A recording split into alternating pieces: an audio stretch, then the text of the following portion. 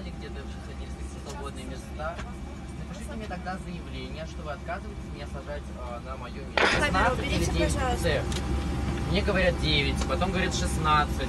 Я должен был сесть на 1Б. В итоге я сейчас где буду сидеть? Я заплатил деньги, чтобы полететь спокойно, адекватно в самолете. Почему мы платим деньги, чтобы лететь в самолете адекватно, а происходит такая непонятная ситуация? ГТР и просто превратился в маршрутку. Кошмар. Никуда сейчас садиться на 1, на 9, на 16.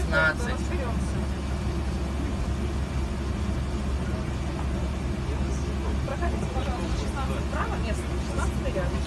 Да, ну свободно, я проверила. Да, сейчас пойдем с 9 Я вот так буду всегда ходить или что? Все, оказывается, что там нет места для одежды.